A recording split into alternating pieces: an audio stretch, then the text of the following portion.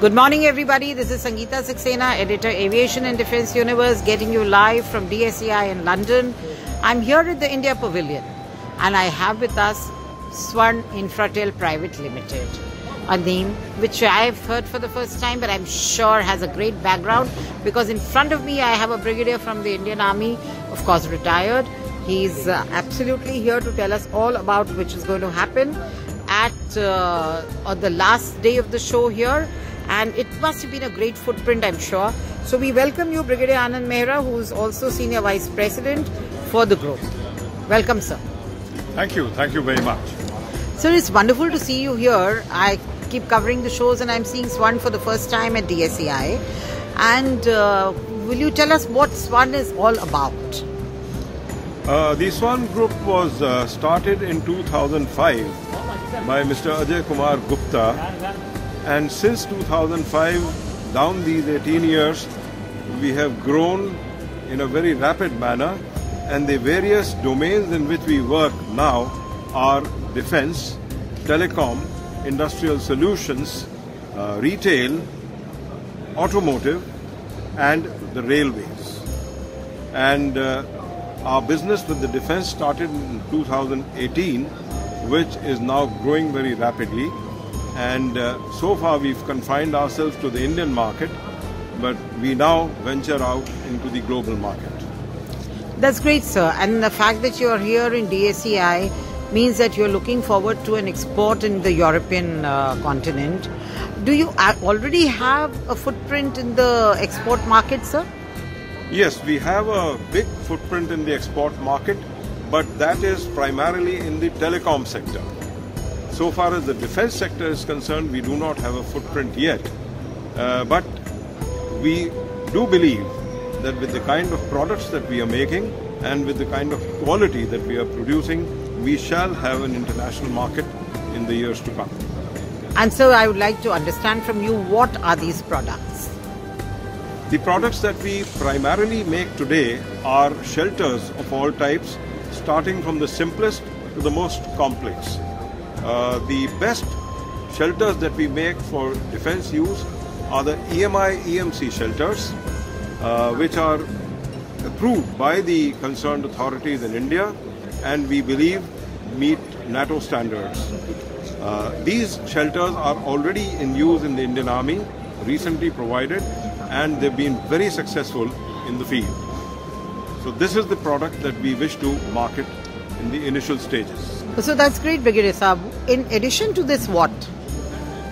Well, in addition to shelters, we are also doing EMI, EMC enclosures, uh, primarily for electronic equipment, switches, tactical switches, and racks, telecom racks. And uh, since you are here and looking for an export market, is England your uh, only target, or uh, what? Which other continents? What else is your export plan like?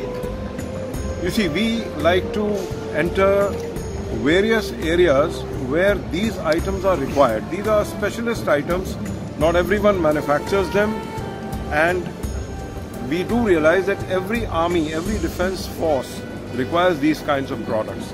And therefore we'd like to go to those areas where they don't manufacture these items or they are not getting them from anywhere else. We do believe that uh, the kinds of quality we produce and the costs at which we produce them shall get us good markets. And uh, one thing which I would like to understand from you is that the facilities are uh, totally in, in India. So, uh, where do you have them, and uh, are they split over various places? Uh, how, how do you manage the complete supply chain? So, yeah. just tell us something about that. Okay, uh, I can proudly claim that our products are entirely made in our own plants bulk of our plants are in Haryana in an area called Palwal. We have a plant in Rajasthan. We also have a plant in Haridwar. And we've acquired 25 acres of land in the UP Defence Corridor near Jhansi, which we are developing as an R&D and manufacturing hub for defence products.